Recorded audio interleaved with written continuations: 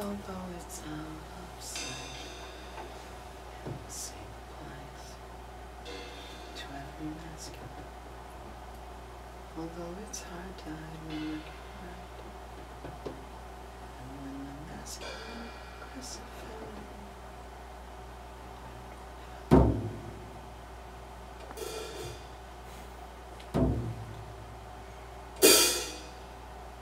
I was tapping on his back, playfully with my fingers. My right arm rubbed his left discreetly. He turned to me and half smiled and said, This is one of those times I really need human contact, and it really pisses me off that we can't hold hands. It's been a hell of a weekend. Our friends Nick and Brett are in town. We've known each other for a long time, and this is really the first opportunity we've had to spend a lot of time together. It's strange how much we all have in common. Uh, they're our age. They like old TV shows. They like old ladies. They're nerds like me and Kevin. Uh, they've been together forever like me and Kevin. They're married like me and Kevin. They bicker in front of people like me and Kevin. They're staying with us while Nick competes in the Gay Games triathlon. They're from that mystical faraway land called Chicago, where their marriage is legal. While they're here, it's not. It's strange. On the flip side, our dog Lucy has been at the emergency vet since yesterday morning, and they haven't been able to get her stabilized yet. But the Gay Games are in town. So we attend the opening ceremonies, uh, the Festival of Village, the Festival of Lights on Mall C on Lakeside overlooking the lake. And if you remember, uh, there was a rainbow light display that was beamed over downtown Cleveland. And the night we went, Nick took a selfie of the rainbow shooting out of his mouth, and I bent over so the rainbow could be farted out of my ass. It was gay. yeah. Gay, gay, gay, gay, everywhere. People together, out in the open, in this city. It felt like more than pride to be spending that time with really good friends and to be posing for photos with another two guys who just happened to be married. I mean, we were standing in a place where five years ago, one year ago, yesterday, this would not and could not have happened without fear of reprisal. But not this night standing in the middle of C, watching the lake, and holding my husband's hand.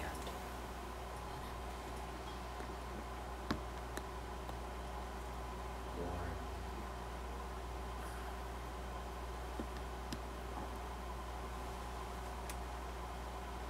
Fresh baked chocolate chip cookies and white diamonds. Always white diamonds. 2011, I'm kneeling in front of the couch in my grandmother's front room. I'm holding her hand and feeling her quickening pulse. I'm holding her hand like when we would walk to the corner mailbox to pay her bills or walk to the corner deli or into Children's Palace. Her hand tells me why she needs me at her side. She's scared. Flooding pulse. Nothing. Flooding pulse. Nothing. Flooding pulse.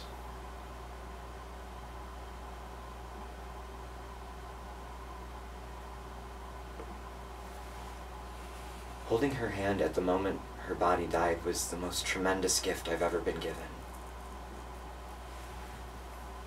A few days before she died, my mom had to make the funeral arrangements and write the obituary. I don't know how she did it, but she did it. She told me that spouses would be listed in the obit, so that would be her third husband, my aunt's second husband, my uncle's second wife, and Kevin, my only husband. She told me his name would be listed next to mine and how proud Grandma would be of that. Uh, after Grandma died, my uncle's power of attorney kicked in, and he took one look at the obit and saw Kevin's name and said, Get this out of here. Nobody needs to know she has a gay grandson. Boy, did he get mad when I gave my eulogy. Back in uh, 2014, our Gay Games weekend has taken a turn for the worse. Uh, the vet called back about Lucy. They still have not been able to get her stabilized, and we're not getting her back today, but at least we haven't lost her. It's been a weekend full of emotional highs, of laughing, of eating pasta and just bickering with friends, and emotional lows of sleepless nights, being too worried to eat, Kevin and I making tough decisions together. We haven't felt this close in a long time. A unit. We go to the store.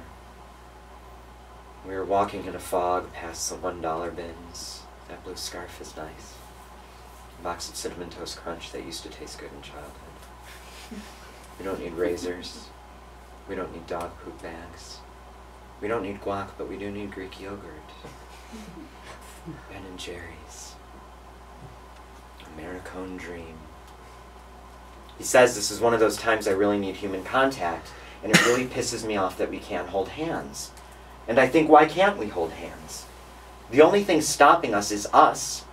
There is nobody here to physically put an end to anything, and we've been together 14 goddamn years. Hold his goddamn hand.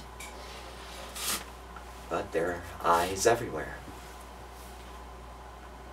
And so he's reaching into the freezer and putting what we need into the basket, and the clock on this moment is ticking. And I'm checking the glass paneled freezer doors for reflections. Clear.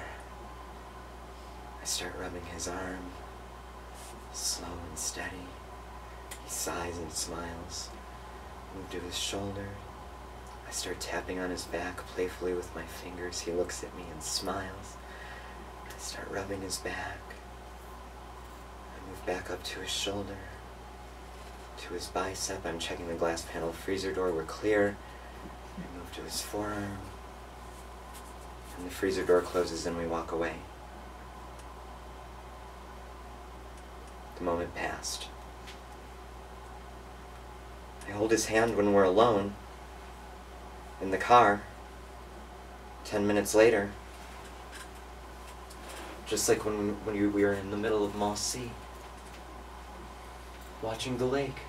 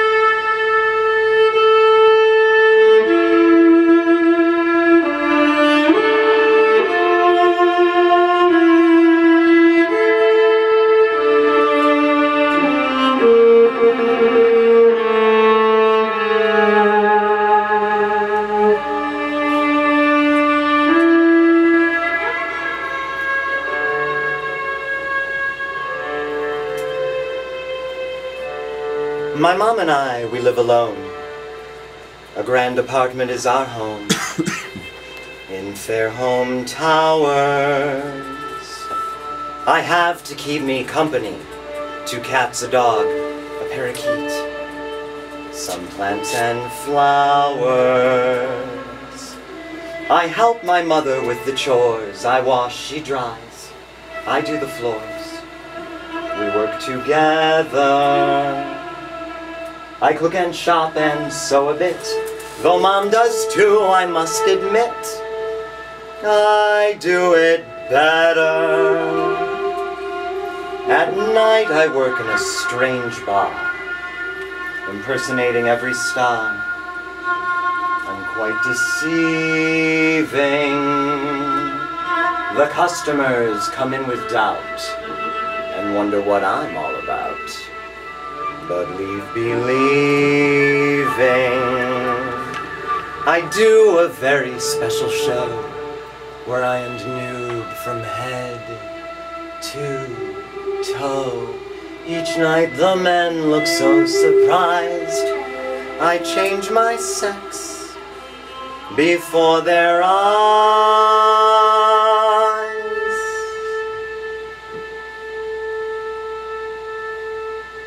If you can. What makes a man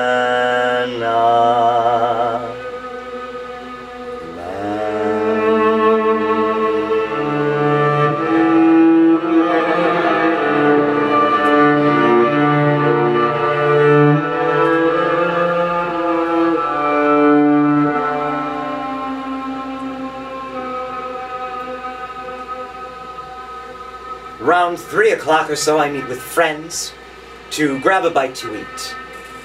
And conversation. We talk and empty out our hearts on every subject from the arts to liberation. We love to pull apart someone or spread some gossip just for fun. Or start a rumor. We let our hair down, so to speak, and mock ourselves with tongue in cheek and inside humor. So many times we have to pay for having fun and being gay. It's not amusing. There's always those to spoil our games by finding fault and calling names always accusing. They draw attention to themselves at the expense of someone else. It's so confusing. Yet they make fun of how I walk and imitate the way I talk.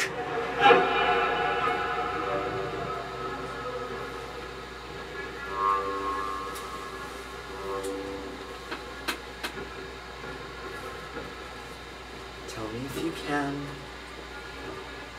What makes a man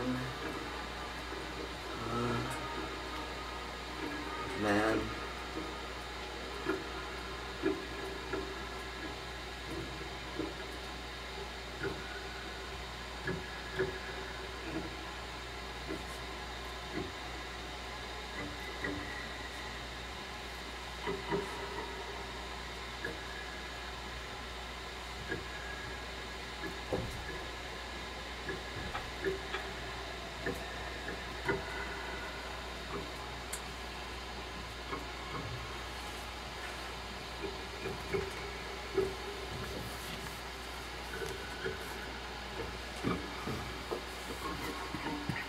My masquerade comes to an end when I go home to bed again, alone and friendless. I close my eyes and think of him and fantasize what might have been. My dreams are endless. We love each other, but it seems this love lives only in my dreams. It's all one sided. Yet in this life, I must confess, The search for love and happiness is unrequited. I ask myself, what have I got? And what I am, and what I'm not? What am I giving? Yet answers come from those who make the rules that some of us must break just to keep living. I know my life is not a crime, I'm just a victim.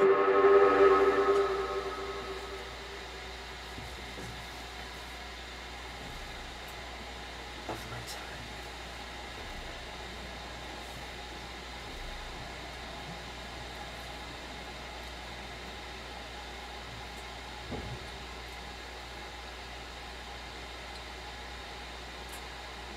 I stand defenseless.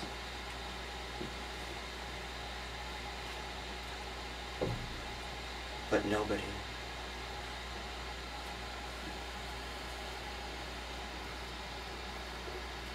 Nobody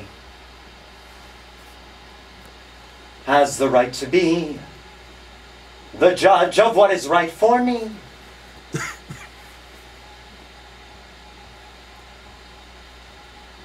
Tell me you can.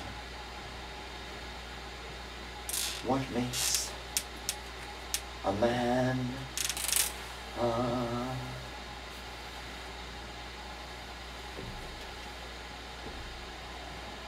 man?